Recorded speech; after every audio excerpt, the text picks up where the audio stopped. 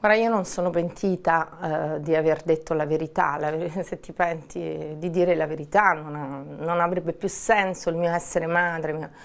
ma eh, sono pentita di aver, essermi fidata, eh, aver fatto una confidenza a persone sbagliate. Denunciare dopo vent'anni eh, bisognerebbe mettersi al posto di una donna. Allora, in primo luogo ehm, distruggere la vita delle persone, perché poi le persone, un, un uomo è sempre stato o un nostro figlio, siamo state madri, quindi questo uomo contro donne, così questa paura non dovrebbe esserci, ma semplicemente dovrebbe cambiare la cultura dal basso, no? da come cresciamo i nostri figli.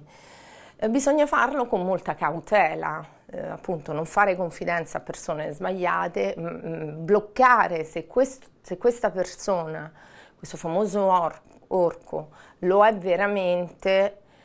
tu ovviamente come donna quando ti rendi conto che è stata una cosa che hai subito vuoi bloccarlo, non bisogna farsi prendere da questa foga, bisogna farlo con intelligenza, facendosi aiutare